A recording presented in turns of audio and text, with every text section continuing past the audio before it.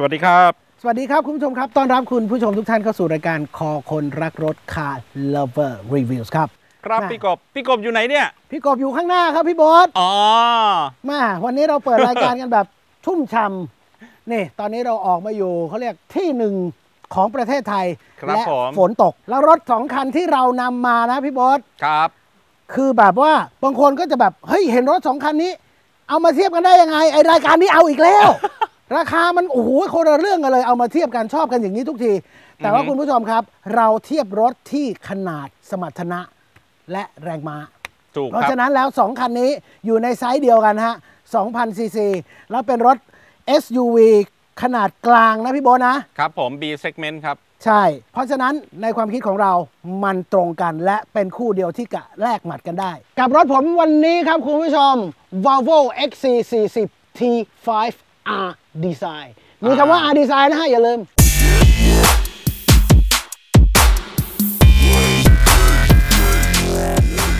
ส่วนของผมนะครับก็คือ Mazda CX-5 2.2 XDL Sky Active D All Wheel Drive เช่นกันครับพี่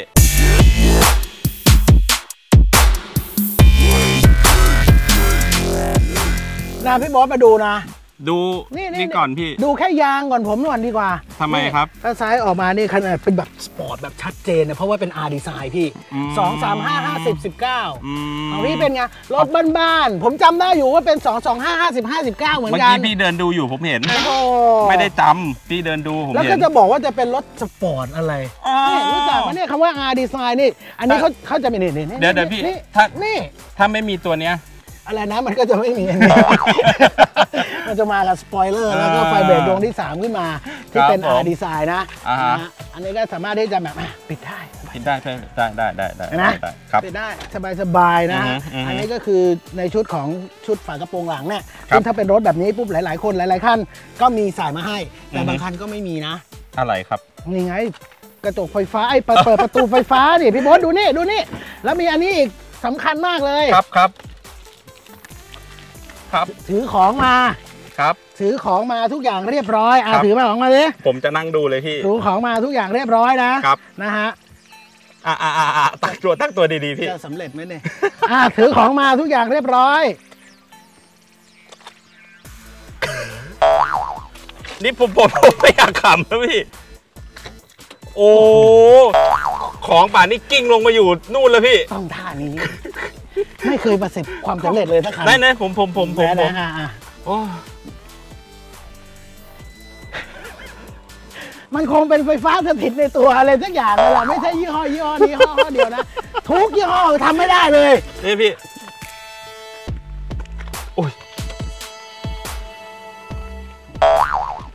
มีแล้วกันนะฮะสำหรับอันนี้ข้างหลังเองนะครับครับก็ผม สามารถที่จะแบบพับเบาะตรงนี้ได้นะ พี่บอกว่าเป็นแบบไฟฟ้าอ่าฮะ ใช่ป่ะกดไปปุ๊บปุ๊บปุ๊บอ๋อ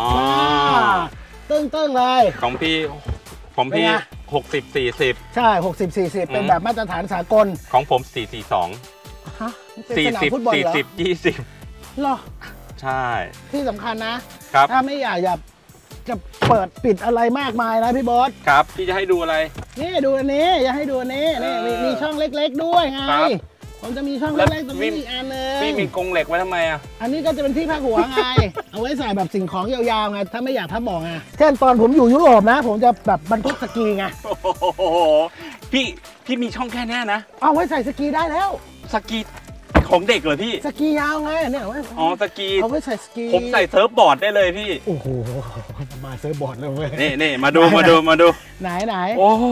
แล้วมีมีมีปลั๊ก outlet ป่ะอันนี้มีปลั๊ก outlet ข้างหลังหนึ่งอันนะอันเนี้ยเอาง่ายๆก่อนผมใส่เซิร์ฟบอร์ดได้พี่ไหนอ้าวโอ้เยอะเว้ยอันนี้เอาไว้ใส่เซิร์ฟบอร์ด อันนี้พวกอยู่เอ่อฮาวายอืฮามวายผมอยู่ยุโรปไงใส่สเก็ตบอร์ดใส่สกีอันนี้เซิร์ฟบอร์ดสกีก็ได้หลายเป็นตั้งเลยพี่ครับอะก็พับได้ แต่ของผมไม่ใช่ไฟฟ้าเป็นแบบว่าเมนวลนิดหน่อย แต่ว่าจริงๆพับไฟฟ้าอย่างเงี้ยนะผมก็ไม่รู้จะทำไปทำไมวะ พังแล้วสิไม่ใช่ไงคือมันไม่ขึ้นด้วยอะอ่าใช่ป่ะแต่อ่าฮะว่ารถบางข้าวเนี่ย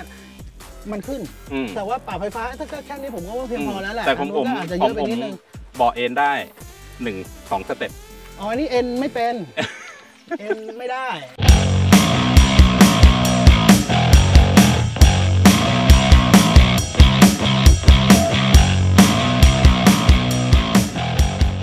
พี่โบอสครับมาจากข้างหลังแล้วเราไปดูข้างหน้ากันหน่อยอ่านะได้ครับว่าผมเจ้าสองคันนี้มันแตกต่างกันตรงไหนอ่าบ้าง แล้วก็เพราะมีสีความสวยงามขนาดไหนแต่ต้องบอกจริง ๆ แล้วก็ไม่ค่อยต่างกันนะเออเหมือนกันอะเดี๋ยวเนี้ยคือประเภท SUV ที่เป็นตอนเนี้ยจะคล้ายๆกันเกือบหมดเลยเออไม่รู้ทุกคงไม่มีทางไปแล้วหรือเปทุกล่าทุกยี่ห้อเลยอะแต่ว่าจริงๆแล้วคุณผู้ชมลองสังเกต2คันนี้ดูดีๆนะเหมือนกันอะแม่ตอนนี้ก็คือหน้าตาของเขาซึ่งซึ่งออกแบบได้ ได้คล้าย ๆ กัน แต่ว่าใครจะขับดีกว่านั้น ราคาต่างกันตั้ง6 0 0 0 0 0กว่าบาทอืมของเล่นใครจะเยอะกว่ากันอันแน่นอนของผมอ่าฮะผมน่าจะชนะอยู่แล้วในเรื่องของเล่นอือฮึแต่ว่าสมรรถนะข้างบนทางดครับผำมและก็แน่นอนถ้าข้างหลังนี่จะเป็นทางแบบา Off-road Off-road นะถูกฮะต้อแล้วงก็ว่าจะเป็นอย่างไร ออฟโรดไม่ธรรมดาด้วยพี่ทำไมดูจากหน้าเราหัวเรา เปียกซะขนาดนี้ ครับนะฮะผม แล้วสองคันนี้เขาบอกว่าเจ้านี้เนี่ย Sky Active ของ Mazda เนี่ยอือฮึทั้งแรงและประหยัดจริงอือฮึ หรือเปล่าอือหือ อ่าแต่ของผมนี่เจ้า Volvo ของผมนี่ ครับผม 250กว่าแรงม้าเรื่องประหยัด แรงอย่างเดียวประหยัดไม่ต้องพูดถึง ไปนั่งดูกันก่อนว่าจะกินกันเท่าไหร่ อ่าใช่ เดี๋ยวเราก็ต้องไปออนรถกันก่อน ใช่ ครับผม ไปเลยไหมส่วนออฟโรดนี่ก็อย่าลืมพี่ทำไม เอาสุดเหรอ สภาพแบบนี้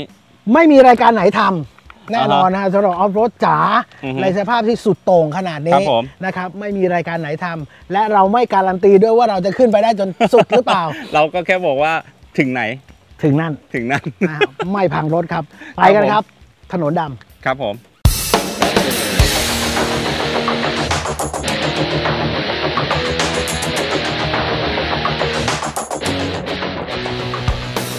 อะพี่บอสครับพี่กอบเป็นไงบ้าง แม่ได้ขับรถที่ราคาแพงที่สุดของรถญี่ปุ่นตอนนี้ แหม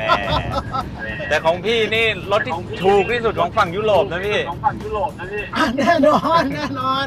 คุณผู้ชมฮะเราที่เราใช้คำพูดประเภทนี้เพราะว่า Mazda CX-5 ของพี่โบ๊ทเองเนี่ยนะครับ ก็จะเป็นรถอ่าที่มาจากประเทศญี่ปุ่น สัญชาติญี่ปุ่นเนี่ยนะครับ ที่ราคา แพงที่สุดในตอนนี้ ส่วนของผมเองเนี่ยนะครับเป็น Volvo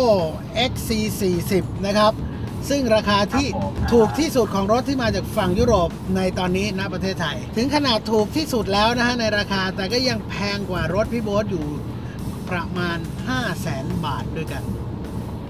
แต่ว่าในความแตกต่างใน 5 0 0แสนบาทเนี่ยนะคุณผู้ชม เราจะต้องมาดูในรายละเอียดกันต่อไปว่า มีอะไรที่แตกต่างกันบ้าง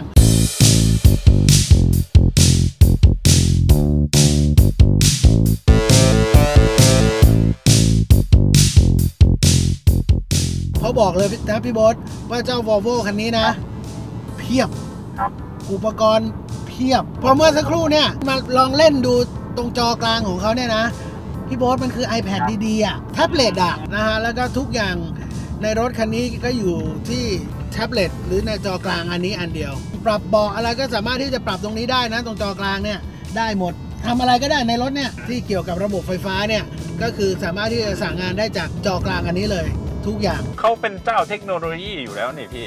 ถูกไหมล่ะ เพราะต้องบอกว่าเทคโนโลยีความปลอดภัยนี่หลัก ๆ ก็มาจากเขาเยอะ ถูกที่เข็มขัดนิรภัยที่พี่โบ๊ทใส่อยู่เนี่ยนะสามจุดเนี่ย พี่โบ๊ทรู้หรือเปล่าครับเจ้าแรกในโลกที่เอามาใส่ในรถยนต์นะก็คือ Volvo อ่าเนี่ยสามจุดเนี่ย เพราะฉะนั้นแล้วความปลอดภัยขั้นสูงอยู่ในรถผมอยู่แล้ว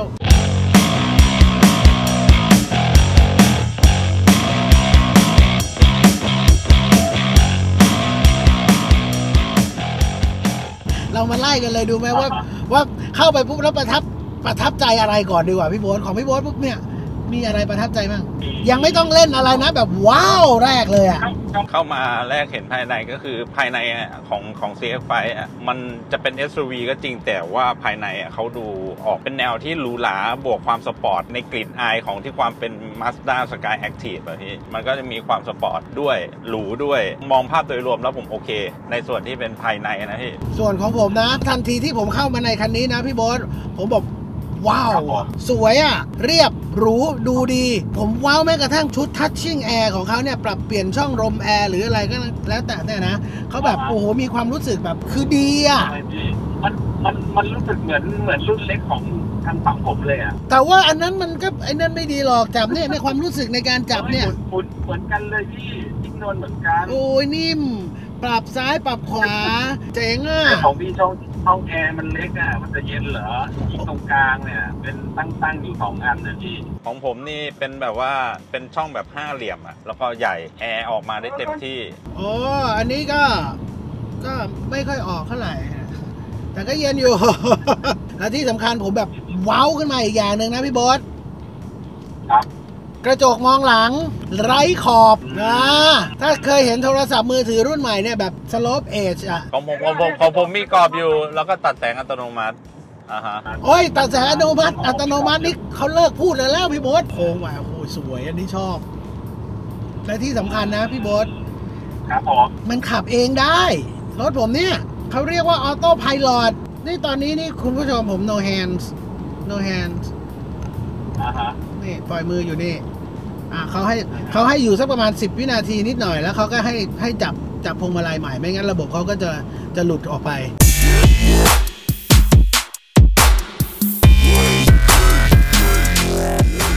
อันนี้เรามาดูในส่วนของเทคโนโลยีต่อไหมพี่โบ๊ทจริง ๆ แล้วทั้งสองคันเนี่ยนะเมนสิ่งที่จะต้องมีคือคือผมว่ามันมีหมดอะ ของพี่อะมีต้องมีมากกว่าผมดิเพราะผมราคาผมแพงจริง แพงจริงในของญี่ปุ่น แต่ของพี่แพงกว่าผมเยอะก็เรียกว่าถูกแต่ของผมเนี่ย เจ้าวอลโวเองเนี่ย ผมว่าเรียกว่ามีเยอะเกิน พี่โบ๊ทมาดูแค่เรือนไมล์ของผมนะ ย้อนกลับมาคุณผู้ชมนะฮะแค่เรือนไมล์ของผมเนี่ยนะ ก็คือจอดิจิตอล 12 นิ้วอะจอ display อะไม่มีเข็มจริงไม่มีอะไรเลย เพราะฉะนั้นแล้วเนี่ยสามารถที่จะทำอะไรกับเขาก็ได้ เปลี่ยนธีม เปลี่ยนนู่น เปลี่ยนนี่ เพิ่มความสว่าง เปลี่ยนรูปแบบการใช้งาน นู่นนี่นั่นทำได้หมดเลย และรูปแบบการใช้งานเนี่ยนะ ก็โอ้โหมึนอะเดี๋ยวเดี๋ยวเดี๋ยวเดี๋ยวเทคโนโลยีเยอะ แต่มันใช้ลำบากใช่ไหมพี่ มันเป็นมันเป็นสิ่งที่จะต้องเซตก่อนในการใช้ไงก็คือลูกเล่นของเขาทั้งหมดพวกเนี้ยมันจะต้องมีการเรียนรู้และศึกษาก่อน ถูกเยอะเลยแหละเออของผมนี่เขา เขามานั่งปุ๊บ เห็นเลยเข็มซ้ายวัดรอบ เข็มกลางความเร็ว ด้านขวาไม่เป็นเข็มก็คือเป็นจอดิจิตอลเช่นกัน ก็จะบอกคลิปต่างๆ บอกเกณฑ์น้ำมัน แล้วก็บอกกิโลเมตรต่อลิตร แบบเรียลไทม์ง่ายเข้ามาปุ๊บโอ้รู้เลยอันไหนอะไรอะไรส่วนไอจอดิจิตอลนั่นก็ปรับเลื่อนดูทิศ A ทิศ B ดูคุยระบบของคุยคอนโทรลดูระบบต่างๆ ของในรถนิดๆหน่อยๆ อันนี้อันนี้ไม่ได้ อันนี้ต้องต้องนั่งเรียนกันอะ กว่าจะได้นะฮะแต่ว่าระบบปกติแล้วเนี่ยมันจะมีแบบระบบซ่อนเลนเนี่ยเพราะฉะนั้นเมื่อสักครู่เองเนี่ยแค่เรือนไมล์เองเนี่ยนะก็ปรับได้ประมาณ4ีหแบบแล้วนึกออกใช่ไหมด้วยความเป็นดิจิตอลน่ะอยากจะให้ navigator อยากจะให้แผนที่ขึ้นมาตรงกลางก็ทำได้อ๋ออ่าแต่ต้องต้องเรียนรู้เขาหน่อยนะ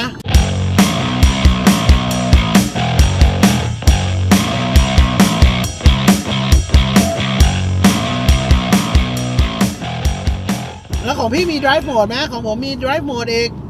drive mode drive mode ของผมไม่มีเพราะเนื่องจากของผมเป็น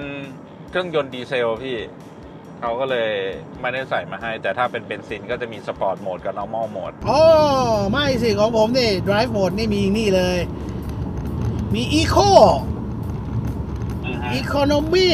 มี comfort มี off road มี dynamic แล้วก็มี individual mode ผมเป็นออโต้โฟวิลไดไง ก็เลยแบบไม่จำเป็นต้องใช้ มันก็อ๋อเหรอใช่ใช่ไม่ต้องมีโหมดเฉพาะพี่ไงมันก็ขับขับเองอัตโนมัติอยู่แล้วปรับระบบขับสีให้อัตโนมัติอยู่แล้วอ่าอ่าอ่ายังไม่หมดแค่นี้นะ อันนี้ก็คือแบบในโหมดครับผมในโหมดของเกียร์นะ ผมมี paddle shift ด้วย พี่โบ๊ทมีไหม อ๋ออยู่ที่เกียร์ครับ ผมว่าได้อารมณ์กว่าเยอะเลย ส่วนคันเข้าเกียร์ของผมนะพี่โบ๊ทก็จะมีมีมีบวกลบอยู่ซ้ายขวา แต่ว่าไม่ได้โชว์ตรงนี้นะ ไม่ได้มาโชว์ตรงตรงคอนโซลนะอ่าฮะจะมาโชว์ตรงเอ่อในโหมดเนี่ยในในชุดของจอกลางเฮ้ยเทคใหม่ป่ะ ในพี่กบไปลำบากเนาะผมไปง่ายจังเลย